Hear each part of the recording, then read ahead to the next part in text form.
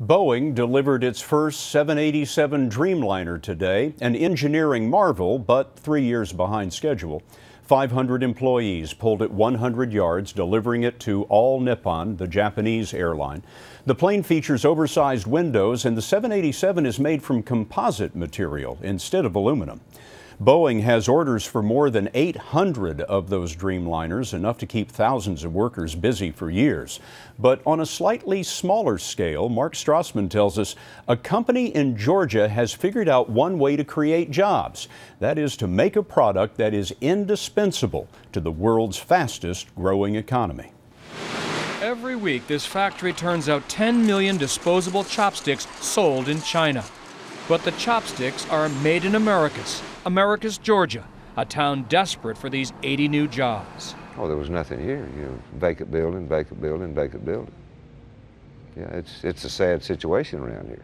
David Hughes and his partner Jay Lee started Georgia Chopsticks last May. Local leaders were skeptical. Because they were looking for people to hire folks. But then as it went on, it was kind of like, are they really going to make chopsticks? What seemed absurd, selling chopsticks to the Chinese, turned out to be the perfect business model. China uses 45 billion disposable wood chopsticks a year, but is running low on lumber.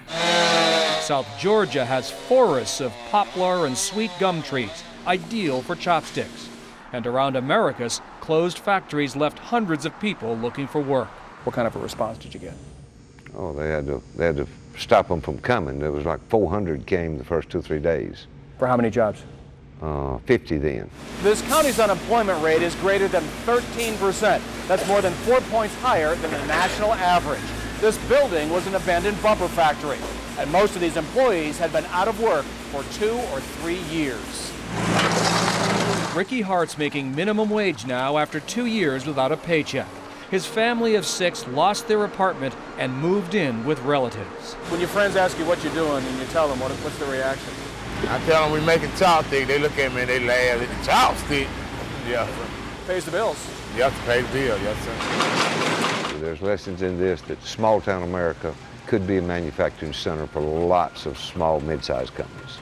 There's people there to work. Government's easier to deal with. Uh, regulations a whole lot less. It's just a better environment to work in. Georgia Chopsticks hopes to add 70 more workers by March. They may not be the only ones hiring. Asian companies have contacted local officials about possibly opening more factories around town. Mark Strassmann, CBS News, Americus, Georgia.